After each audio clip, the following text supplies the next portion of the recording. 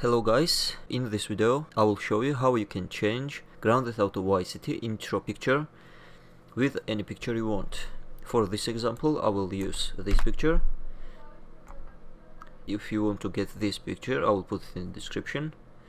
Now first you need to do is to go and download TXD Workshop. I will put that also in the description.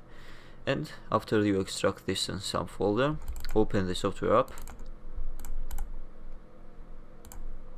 open press open txd go to the Grand Theft Auto Vice install, install directory.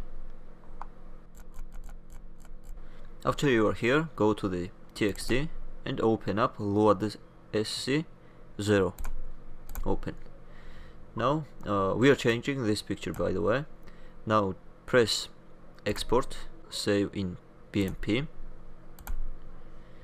okay it will save that way open it as any image editor software you want.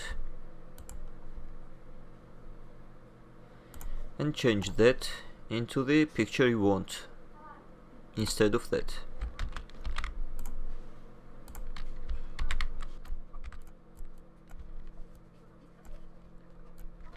After that's done just save the picture.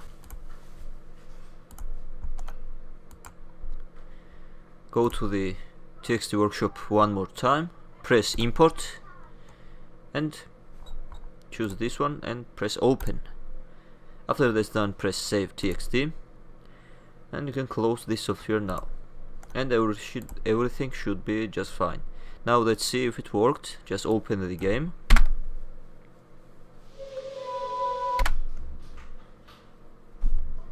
Go. For example new game. And how as you can see picture changed Tommy Vercetti.